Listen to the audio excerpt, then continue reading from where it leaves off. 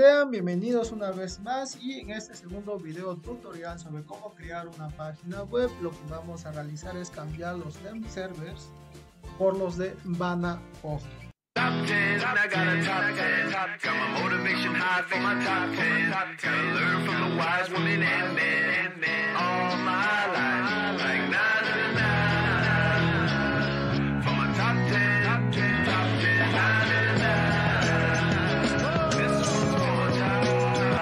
Ya que estaremos trabajando con el hosting de esta plataforma, la plataforma de Vana Hosting, por lo tanto tendríamos que borrar este, este y este otro y este lo primero que tendríamos que hacer es iniciar sesión en nuestra cuenta de Vana Hosting para extraer los name servers. Por lo tanto, nos dirigimos donde, donde dice mi iPhone, mi cuenta. Iniciamos sesión, colocamos nuestro correo y contraseña en ese apartado nos vamos a dirigir, eh, vamos a dar clic por acá, este es el hosting y le vamos a abrir en otra ventana. En este apartado vamos a deslizar hacia abajo y copiamos los servers, solamente serían estos dos, los copiamos. Y copiamos estos name servers, serían estos dos. Y los vamos a colocar el name server número 1 aquí, el name server número 2 hasta aquí y vamos a dejar vacío en estos tres, no hay ningún problema. Y le vamos a dar clic dice cambiar name servers. Este proceso puede llegar a tardar hasta 24 horas en propagarse, es decir, para que nosotros podamos ya visualizar una vez que instalemos el, entremos al cPanel, instalemos el WordPress y queramos ver hacer las primeras modificaciones en WordPress de la plataforma soydocente.online. Esto, este proceso puede llegar a tardar hasta 24 horas, a veces es una, dos, tres horas, y incluso hay veces que llega a tardarse hasta 48 horas. Esto va a depender de los servidores, así que hay que tener paciencia. Una vez que hicimos esto, hay que darle clic dice guardar name service. En lo que se guarda esto, eh, ¿cómo podemos obtener los name servers en Namecheap? En Namecheap es muy diferente, eh, lo podemos obtener mediante el correo electrónico. Eh, por lo tanto, vamos a revisar nuestro correo electrónico. Ahí es donde nos llegan los name servers Namecheap.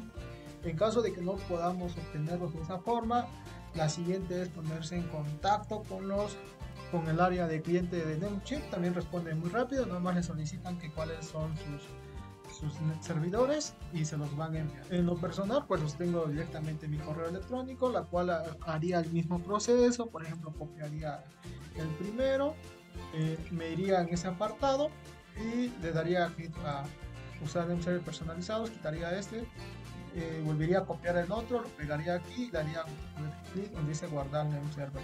En caso de que quiera usar por los, los, mismos name servers de la misma plataforma de Seret, porque ya compré un hosting en la plataforma de Seret, entonces nada más le doy clic dice usar name server por defecto y guardar name server. Lo mismo sería con Hostinger, eh, en esta parte nos vamos a dice DNS name servers y nos va a aparecer por acá los name servers. Los vamos a copiar, copiamos el primero, eh, copiamos el segundo, ya sabemos en qué parte va. Nos vamos por acá y lo pegamos por acá, ¿vale? Y le damos finalmente cambiar en server.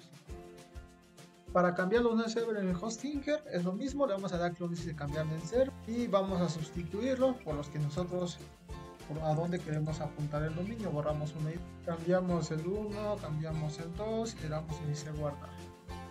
Le damos clic dice cerrar.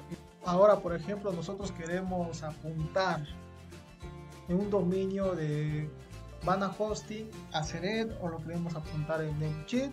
¿Qué es lo que vamos a necesitar? Vamos a necesitar los name servers de Vana Hosting o de Namecheap o de otra plataforma en donde nosotros tengamos el hosting comprado y queremos apuntar un dominio. De los tres nada más queremos apuntar uno. Entonces nos vamos a dice dominios, vamos a que cargue y en ese apartado lo que vamos a hacer es darle clic a cualquier al dominio que nosotros queremos apuntar al nuevo al otro hosting. Le damos un clic nada más.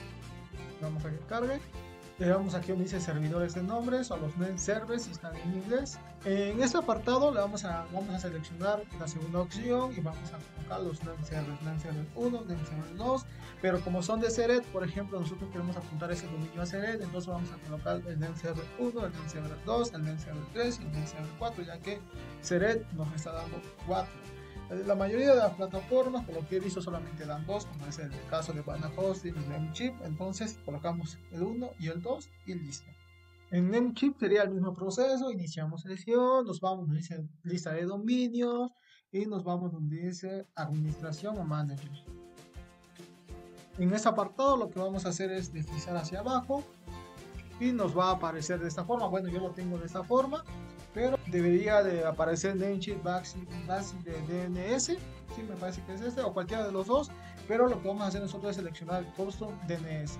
Una vez que seleccionamos el custom de DNS, lo que vamos a hacer es cambiar los name servers, eh, colocar ya sea el de Seret, el de Bana Hosting, el de eh, otro que aparezca por ahí, el de Port.pum, por ejemplo.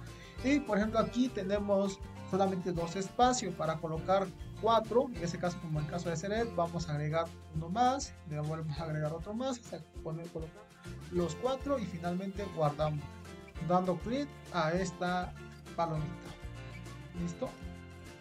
Y por ejemplo, el caso de Namecheap nos está diciendo que esto puede llegar a tardar hasta 48 horas, por lo tanto hay que tener paciencia para que se termine de propagar los name servers. Finalmente, o en resumen, quiero decirles que para cambiar los name servers es casi el mismo proceso para todas las plataformas. Recuerden siempre que van a necesitar los name servers de, del espacio o de la plataforma donde ustedes hayan comprado el hosting. Si ustedes compraron el hosting más el dominio en la misma plataforma, no necesitan hacer este proceso. Pero si compraron el dominio en Namecheap y compraron el hosting en Seret, entonces necesitan los name servers de Seret y dirigirse a Namecheap para cambiárselo al dominio que ustedes acaban de comprar.